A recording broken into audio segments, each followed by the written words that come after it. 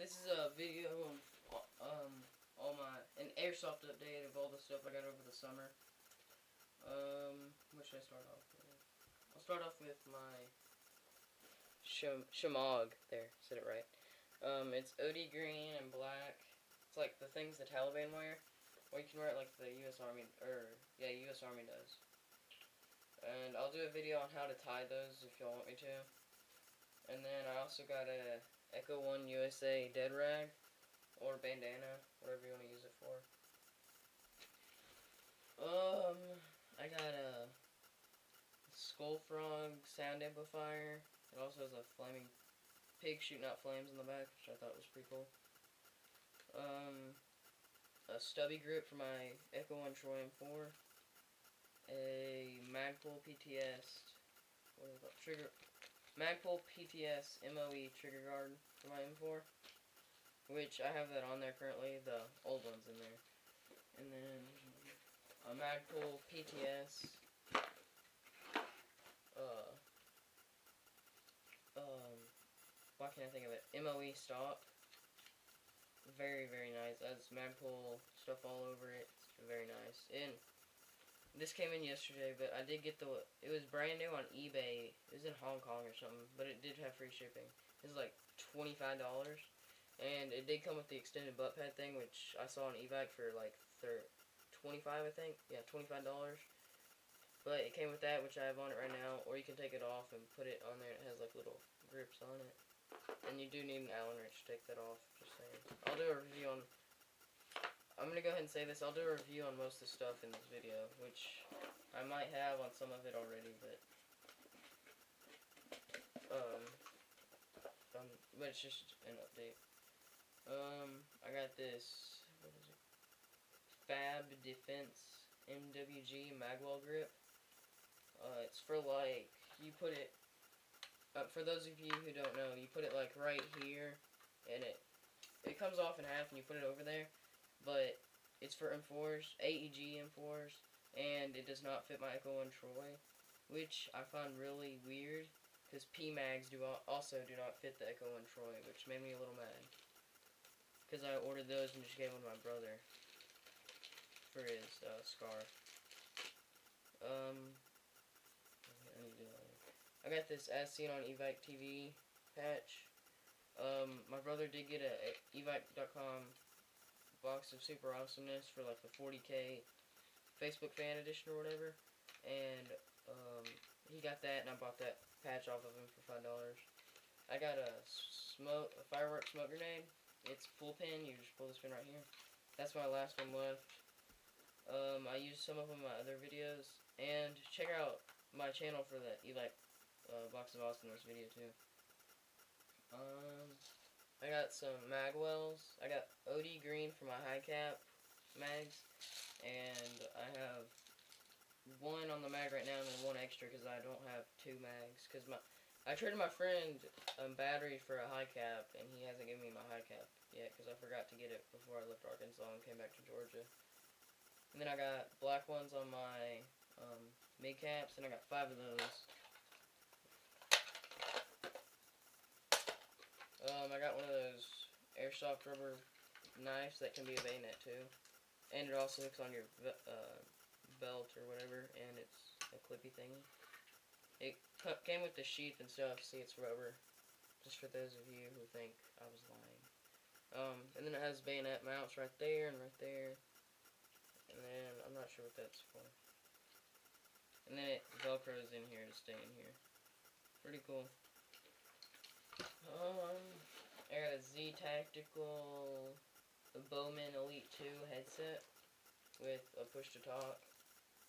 When I did get that push to talk, I thought it'd be smaller than it actually is. That's why I got it. Plus, it was the cheapest one, so. But I had to buy that separately. And then there's the headset. Movable arm and everything that goes across your head. I wear it under my helmet. And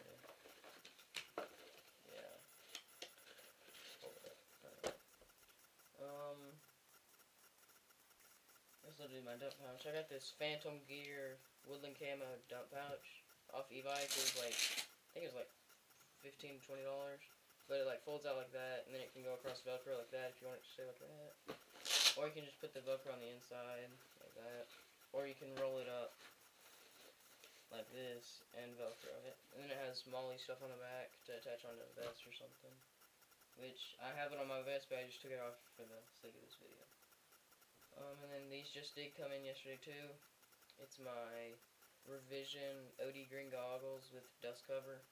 And I will do a review on this too. They're freaking awesome. I love them.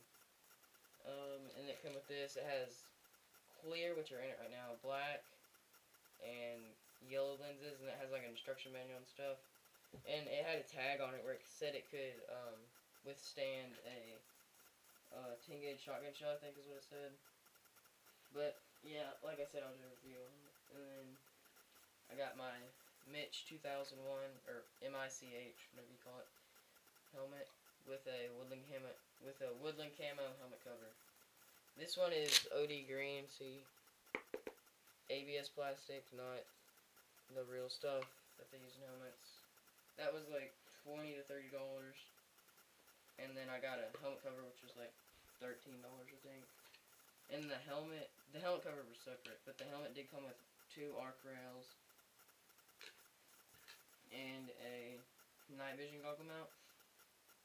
But I'm not sure if you could actually put night vision goggle night vision goggles mounted onto that with a rhino arm or not because it looks fake. It Looks like you can. And then it did come with two strips of small rectangular Velcro and then one big square Velcro. Which I don't have on it right now. Um, and then I did get um, one Picatinny rail mount for it. For the arc rails. And it did come with this little weird thing. I have no clue what it is. So will somebody please tell me in the comments? Thanks. And then, last but not least, I have a video on this too but it's my CYMA Tommy gun Chicago typewriter Thompson Model 28, 1928, whatever you want to call it. Fake wood, full metal. I'm not going to go too deep into it because it do have an unboxing on that. And then I got it in a trade for my Echo 1 AKM or AK-47. I know I got a lot of hate on that video on about calling it an AK-47, but it's an AKM. And I traded it because it had like holes and stuff in the stock. Wish I had a video of it, but I don't. Uh, but I have like unboxings and reviews and shooting tests on that, so check it out on my channel. And then it does come with a drum mag and an 8.4 volt battery,